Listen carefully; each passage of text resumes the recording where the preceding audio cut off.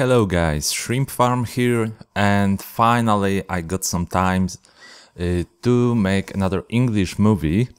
I know I promised this movie a while ago but I had some job issues, let's uh, call it like that, uh, that I had to manage and now I have a little bit of time uh, to make another talk about uh, my tanks. Today we will uh, talk about crossbreeds.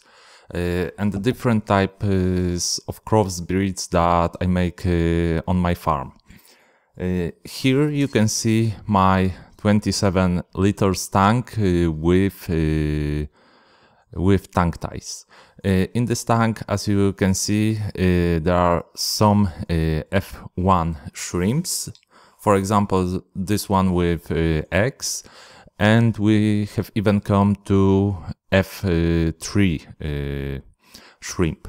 Uh, this is uh, the number of generations that I have crossbreeded them.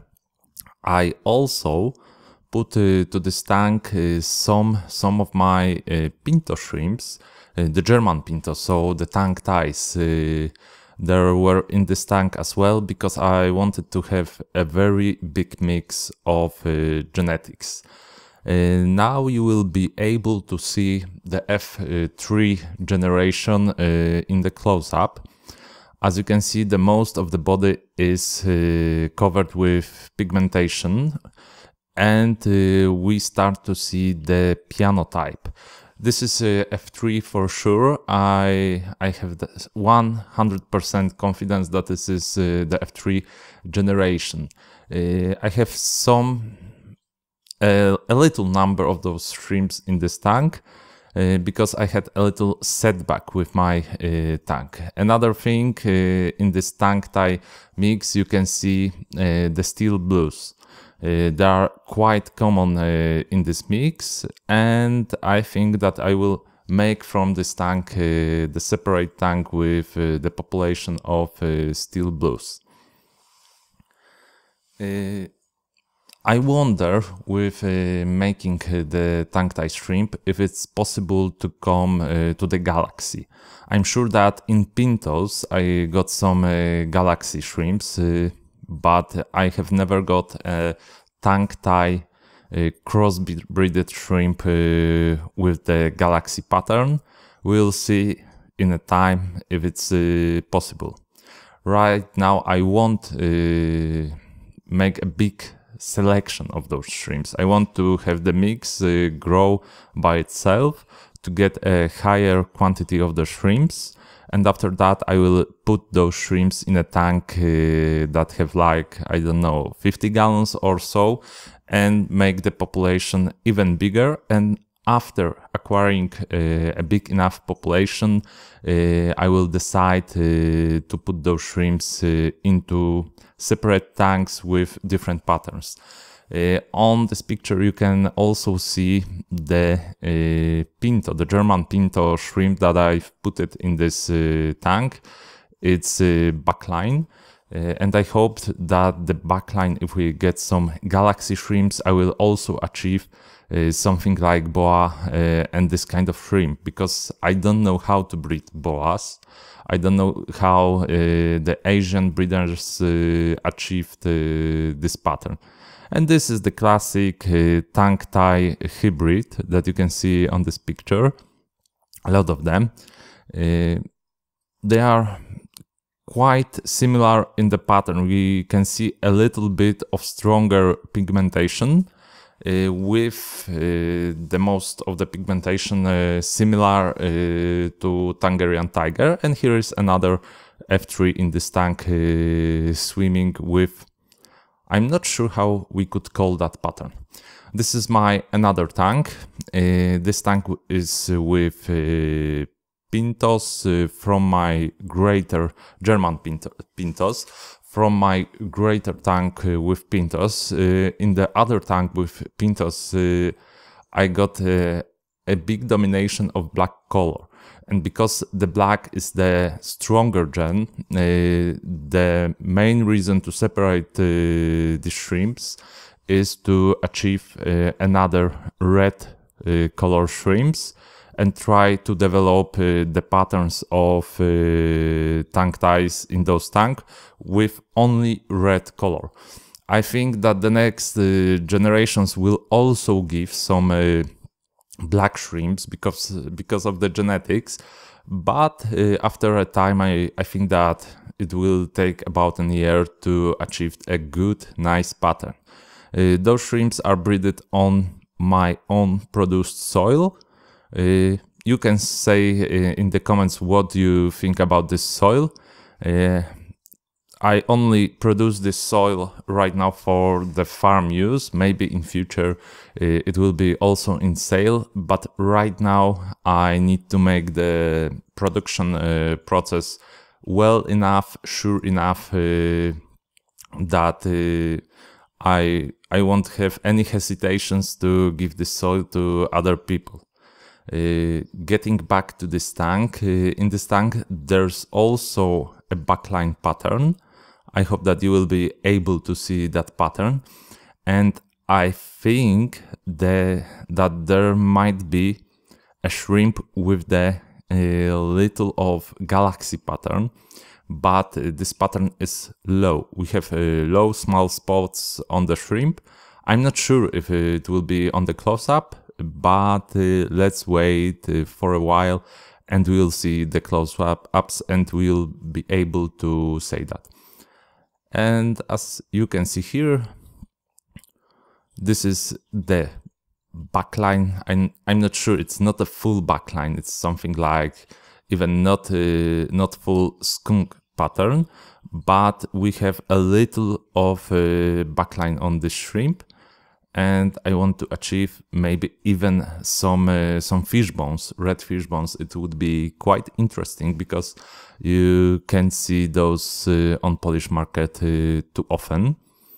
As you can see, this pattern isn't developed well enough, uh, but uh, the most important thing for me is that this pattern is uh, available in the shrimp. So there are genes guns that will uh, so genes oh my god uh, that will uh, spread this pattern among other uh, baby shrimps. And maybe this pattern will develop even more and maybe will achieve the thanks to the shrimp the full backline pattern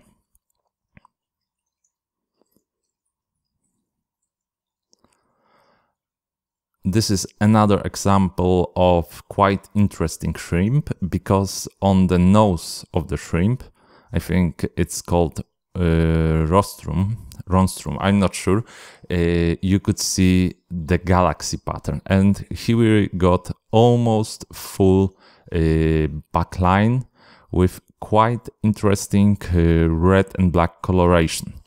This is another thing uh, that is uh, quite mystery for me, let's call it like that, uh, why we got uh, those black uh, coloration on red shrimps. I'm not sure, is it genetics and it's normal, uh, independent from the tank parameters, or is it something that uh, involves the, the, the, the, parameters that the tank has, uh, the GH, KH, etc. I'm not sure. I need to check that uh, as well. It's something like with hulks. You know, so, some people say that hulks are uh, just uh, the reason of the parameters that the coloration, the green coloration, is despite of the lack of the black pigmentations. Some people say that it's genetics and a different type of shrimp coloration. As, and this is my another tank. This is the tank that I told you about, the uh, big mix tank uh, with German Pintos and hybrids, so TangTais.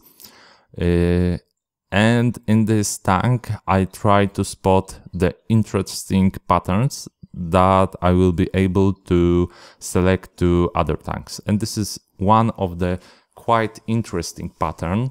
Uh, I love the coloration of the rostrum and of the legs of the shrimp. Sorry.